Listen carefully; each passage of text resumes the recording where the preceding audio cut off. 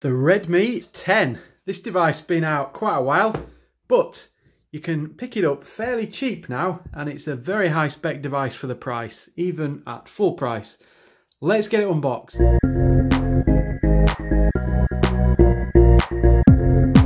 Not much going on in the box, just got a few bits of information around the side. I'm not going to show you the bottom because it'll have the IMEI number, etc.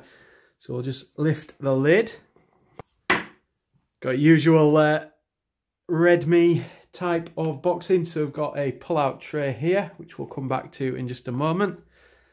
The phone. Just pop that there. Then underneath, can lift that tray out. And we've got a USB cable. USB-C one end, USB whatever it is on the other. And then we have the plug.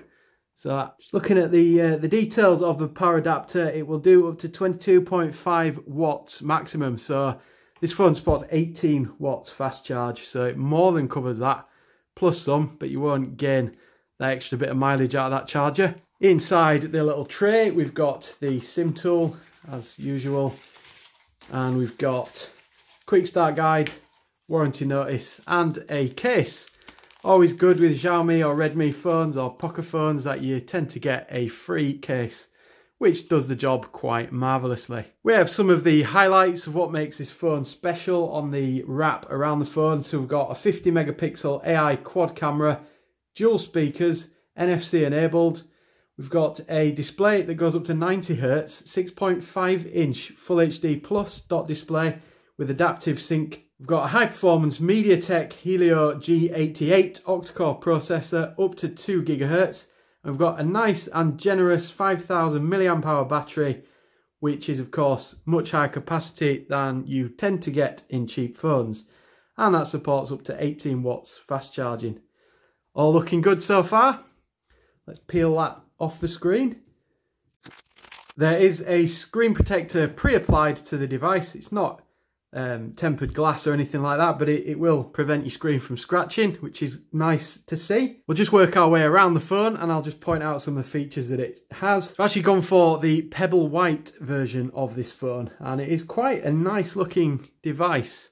Uh, I'm not really a big fan of uh, the manufacturer's name being plastered on the back of a phone, but it's fairly subtle on this one. Cameras on the back, says AI Cam Photography System. So we've got your big 50 megapixel camera there. And then you've got one, two, three more there and the flash. So they will do different things. So we do have a, wide angle lens and a macro lens here. And I believe we also have a depth sensor camera. And also on the front, you've got the front facing camera. So you can do your video calls, your selfies and other such like. Around the edges, so top end, you've got a headphone jack, and you've got a speaker, microphone, and I believe that is an IR blaster, which is great to see. I know Redmi do tend to put those on there. You can control your TV, audio system, that kind of thing from directly in an app on the phone. Along the top, we've got volume rocker, and then we've got a fingerprint sensor, which is also the lock button. Along the bottom, we've got the second speaker, so we've got stereo sound, another microphone there, and USB-C for charging. And up the other side, just got the SIM tray. Look at the fingerprint unlock. So just on the side, got the lock button there. That's also a fingerprint sensor. So we'll just test it with my thumb. And pretty good. Unlocks fairly quickly. And let's take a look at what goodies are hiding in the SIM tray. So just pop that out with the SIM tool. Like so. You'll hear a little click. And what have we got? Lovely stuff. So we've got SD card or TF card as it says on here, and then dual SIM. And expandable storage is always nice to see. Just take a look at video playback. So I've put the screen on full brightness here. You will notice there's a lot of reflection uh, in the uh, in the display. Hello. Uh, but that that's not the end of the world. Uh, we could take the screen protector off. We might get slightly less glare but it is a cheap phone, bear that in mind. So we've got this full volume as well, let's see what it's like. A really quick look at this TWS wireless speaker. Probably one of the cheapest wireless Bluetooth speaker. nice and loud. I'll just do my incredibly scientific stereo test to make sure it is stereo. So we've got a speaker on the left and the right. So I'm going to cover each one up in turn and see if we can still hear the audio. It's built in 1500 milliamp cover that one up. for long battery life. Compact and yep. design. And then other way around. For stereo sound, compatible with phone, computers, TV and more. In the box, USB cable, Perfect. And just a couple of things I want to show you about the UI. So this is the latest update. It's running MIUI 12.5.16. Hopefully we'll be getting 13 uh, at some point. And you'll see the, the occupied storage is quite high, but I have uh, installed quite a few games on there, so don't be alarmed by that. And you've also you've seen that you can expand the storage. Android security update up to date to the 1st of May 2022 fairly good. So there is a 5000 milliamp hour battery in the device, uh, but the, the processor is a 12 nanometer process uh, manufactured processor, so it will drain battery quite a bit. One thing you can do, you can set the refresh rate, so you can actually, if you're not that bothered about your battery draining fairly quickly, you can have a extended high refresh rate of 90 hertz. So the display will actually refresh 90 times a second or you can go to the standard 60 hertz. If you find your battery is draining, then you can drop that down to 60 hertz. Doesn't give you a smoothing experience. With it on 90, as you can see, it's a very liquid experience. Very nice to see on a device at this price. Some 3D gameplay now. So first up, Genshin Impact. See this is running. Um, the graphics are quite clearly set low with a lot of jagged edges around or some pretty low poly items in the background. Little bit of stutter, uh, but it is playable if you can cope with the long loading times. The storage isn't particularly quick on this device, uh, which doesn't help. We have Call of Duty Mobile now. So again, low settings, but it works. Very playable. Doesn't look too bad either, considering that the settings are set to low.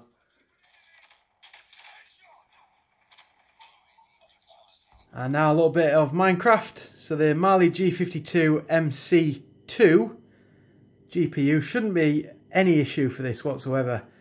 Minecraft is actually quite an old game, relatively speaking, despite it being still very popular. Uh, no issues here. This looks pretty uh, slick and the gameplay experience is very good. And again, the same with a bit of Roblox. Should not be a problem for this hardware and does seem to be running okay. So if you're looking for something for the kids that you're not too bothered about because it's quite a cheap device, then this phone is definitely one to consider. Rather frustrating thing I did find with the phone is in the background it seems to aggressively close down programs. So for example you're in Chrome and you're wanting to switch between Chrome and another app. Sometimes what you'll find is if you've got a web page loaded up in Chrome that requires data being sent to it, you switch to the other app and then you come back to Chrome and it's lost where you were, which can be really annoying if for example you're booking cinema tickets and you're getting a voucher code from another app However, there are ways of turning this off. Uh, in the settings, you can set each app as to whether or not the UI decides to close it, and you can completely switch it off so you can make sure that it does get stored in RAM. Now, I understand why Redmi, Xiaomi do this, uh, and that is because by aggressively closing apps, it keeps your battery going for longer, and that's kind of doing you a good service. But sometimes it is impractical, and it does get very annoying. There's a little bit of bloatware on, on the device, some games that I've got rid of most of them, uh, but that doesn't really matter. You can uninstall them, they're not forced upon you. Uh, it's just a minor inconvenience. I've just looked at some of the results of the camera on the device. So it does pick out quite a lot of detail depending on which camera you do use. Um, this here is just a, a video clip which is just showing you how without image stabilization it is a little bit all over the place the light it doesn't seem to react particularly well to changes in light and here we've got 50 megapixel mode and I'll just zoom in around the image uh, just to show you the level of detail you get so this is just looking above a lovely market town in West Yorkshire If you know what it is, then please do let us know in the comments. I obviously do. Quite nice levels of detail on some of the shots, but others not so great. The AI mode does tend to know that you are taking photos of animals, that kind of thing, and it does adjust the shot appropriately. Great for sunset images. Unfortunately, I've not got any on here. Macro mode is okay. This is just an image of a sunflower. And as you can see, it's pulled out quite a lot of detail. We've got a, a little bee on another sunflower here and his little pal, a fly. And just to give you an idea, some other shots of flowers. Does have quite a nice portrait mode where you can blur the background, pulls out the detail on your face. This is a front facing camera up to 1080p, 30 FPS no digital image stabilization.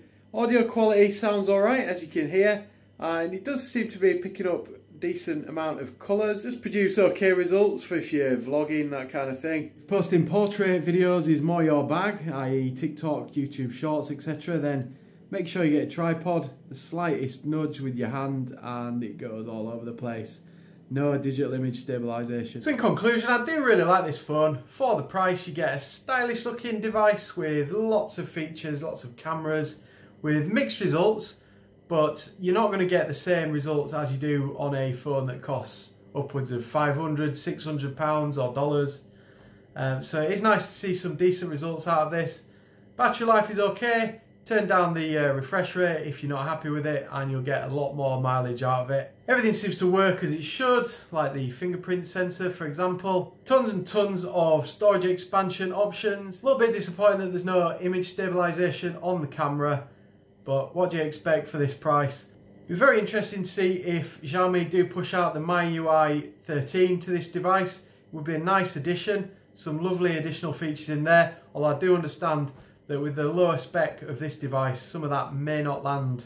I personally wouldn't pay full price for this at the moment, but they do keep putting on offer uh, at around $100, £100. Uh, well worth the money at that price. Anything above 150 not so sure, but it is a year old now, this device. Things have moved on. I hope you found my review informative and useful. If you could just help me out by hitting subscribe and or like, then please do so. And if you've got any comments, then please do add them below. And I will see you in the next video. Thank you very much for watching.